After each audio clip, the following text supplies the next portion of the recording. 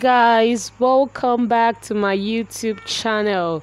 Guys i sincerely want to appreciate every one of you who checked up on me while i was away on this channel. Thank you so much. Some of you called me some text even some came to my email.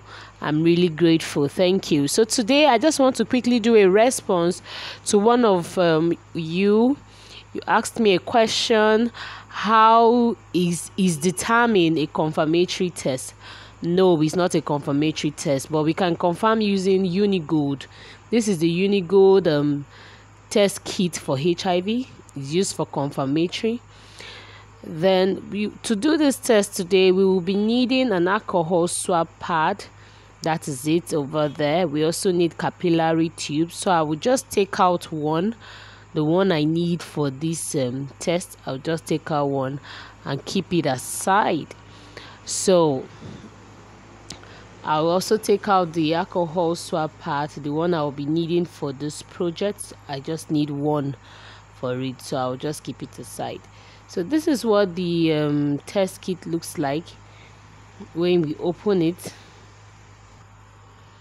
Here yeah this is what it looks like is HIV. You can see the HIV there. You can also notice that C and T and even that round part.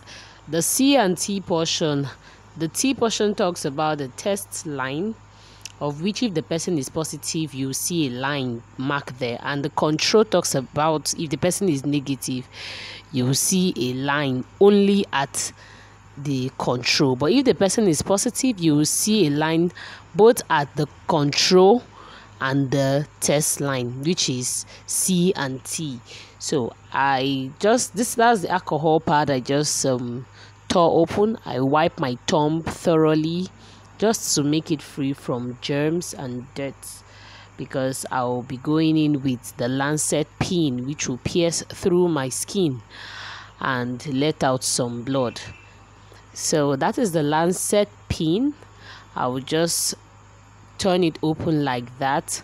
It's open. It has a very tiny mouth that mimics like that of a very tiny pin. So you just do that gently if you're doing it for yourself but if you're in the hospital the healthcare providers will do it for you. Don't ask me if that was painful. Hmm. do not ask me if that was painful at all. So i will reach out for the capillary tube. I apply pressure. As i apply pressure by you know pressing my gum over my index finger you can see that the blood is flowing and i'm picking it with my capillary tube onto the sample portion of the test kit. I don't know if you can see this clearly.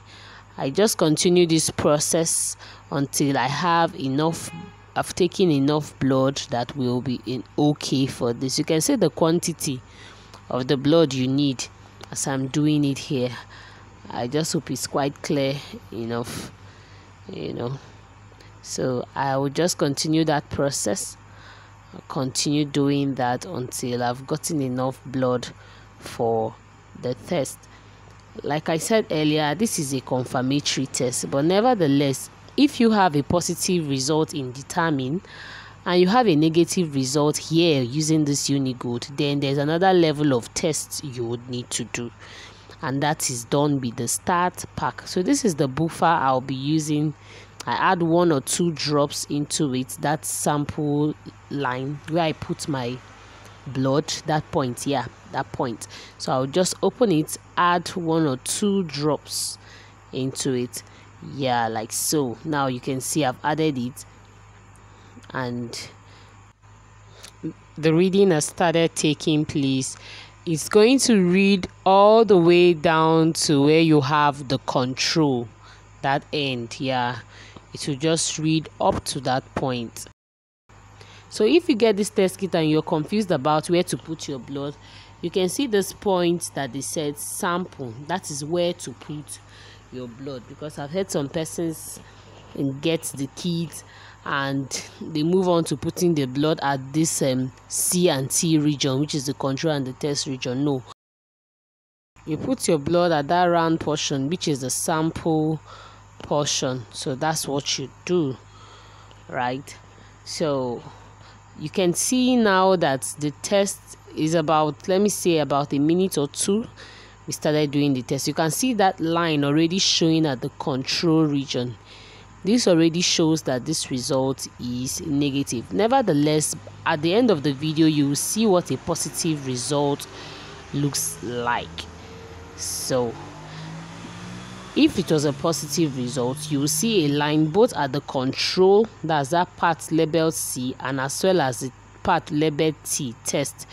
So i would show you that just now. So this is what um a positive test result look like on unigold looks like. You can see that there is a line both at this control and the test region. So thank you so much for watching. Please do well to like this video subscribe to join the family and click the notification bell so that you get notified each time i post new video